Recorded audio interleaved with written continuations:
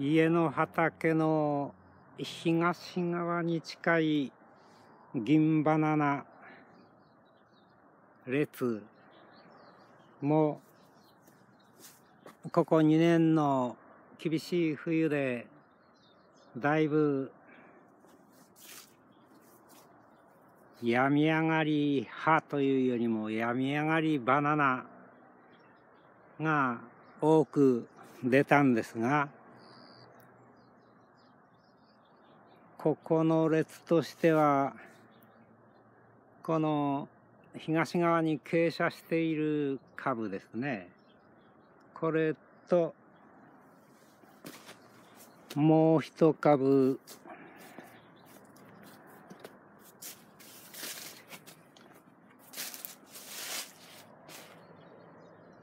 中央に巻き葉が見えるこの株ですね。が出来可能株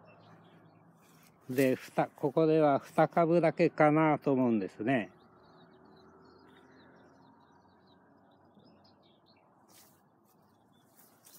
この出来見込み株の隣の親がですねこれがダメになったんですね。かしこちらの出来見込み株とこちらのダメになった親株の周辺にはたくさんの子株が出てきてまあ厳しい冬も悪いこと ばかりというわけでもないですね。子株は1 2、3、4、5、6、7、8、9小さなの入れると10。10本からもしかすると11本はこここの場で小株が育つと思うんですよ。小株が自根苗を得て掘り上げ移植に耐えうる時間時期が来たなら家族構成をどうするか考えながら小株調整に入ろうと思っているんですがね。まあ今年は収穫は少ない代わりに小株がたくさん増えるのでそれらを適切な時期に株分けして移植レイアウトをよく考えればもしかすると株数では以前よりも増える畑になり得ますね。こちらの銀バナナ列とそれから一列開けたここタイベジタブルバナナもうまあ立派な株を昨年掘り上げたということもあるんですがダメになった小株からやはりここでもですねダメになった株が12 2株ありましてこの周辺に12345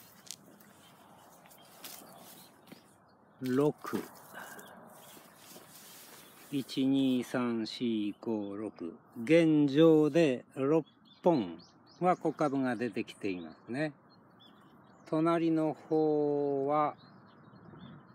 123ちょっと大きめですね。大きめの小株が12344本育っていておそらくここもですねもっと出してくると思うんですね。その隣もこれはもうダメですね。で1現状で1234 4株小株が出てきて育っていますからここもその23本ぐらいは出るでしょうね。ですから銀バナナとここのタイベジタブルバナナトールナムは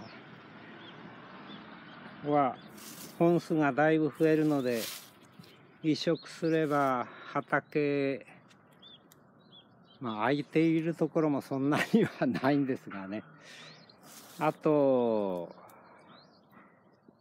川向こうのナムア畑にですね持って行って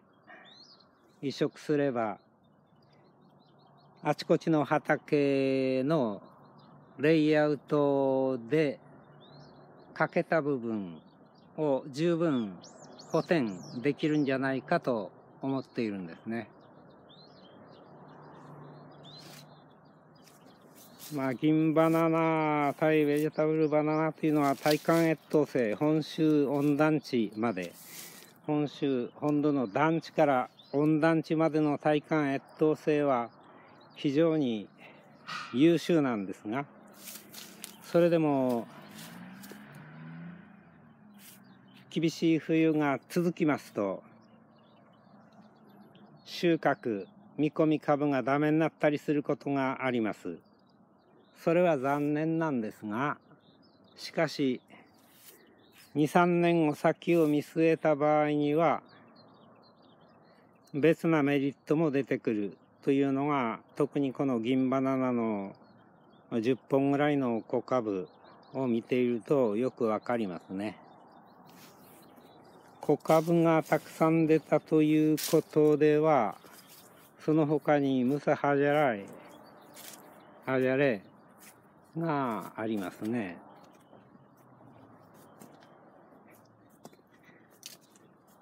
これは日陰から向こうの方の日陰から持ってきて親株を植えてその親株がダメになってその大体小株大体親株がこれだったんですよね。でこれの成長再開が思わしくなかったのでカットバックしてまあこれはダメかもしれないと思ったんですよ小株がですね。たくさん出てきましたので、まあこんな風に小株にストレス斑が ストレス斑が出ているのは、この親株がだいぶダメージ、越冬ダメージを受けたということですからね。まあ、一本のこちらの小株は元気ですね。